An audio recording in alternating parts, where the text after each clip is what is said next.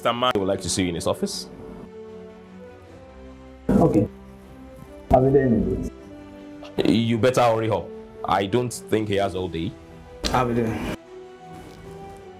Mr. James, what happened at the site yesterday? I don't understand what you mean, sir. Are you having a case of amnesia, Mr. Oluremi? Sir? Okay. Since you don't remember, let me help you. What happened when the physical planning and urban development guys came for inspection? Oh, that. Uh, the guys that came were subtly asking for bribe. And I told them point blank, we don't give bribe in our company. Now you stirred the hornet's nest. This is my office, Mr. Okoye. You speak only when I ask you to. Sorry, sir. Since you started already, you may continue. Thank you, sir. you see, there is no point arguing with these government officials.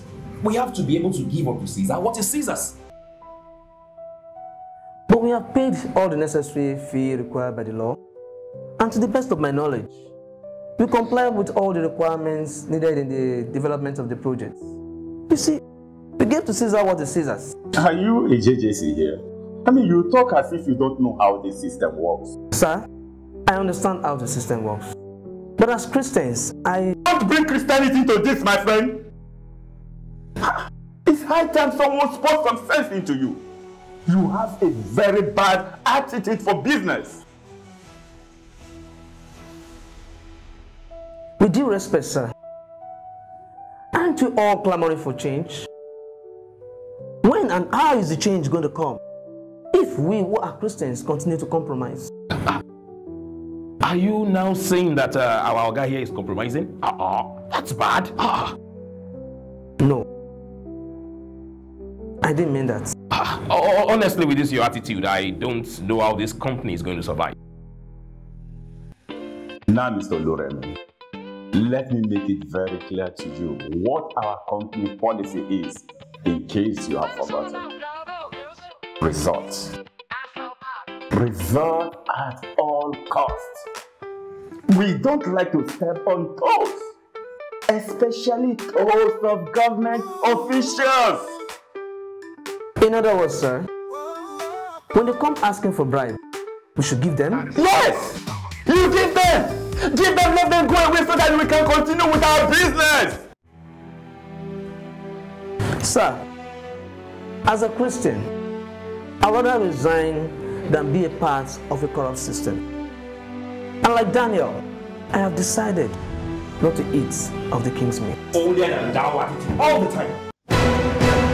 Well then, Mr. Oluremi, since you have taken that decision, you can go back to your office.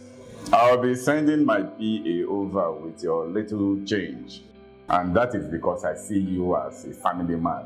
Otherwise, what I should do is use your salary to settle those guys you have insulted.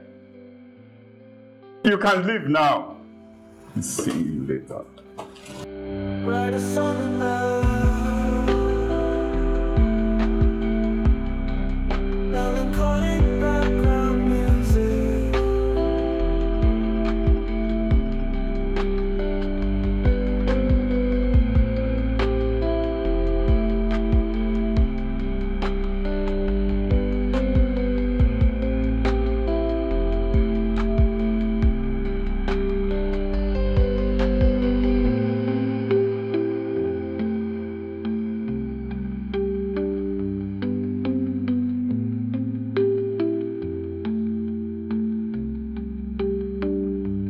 song about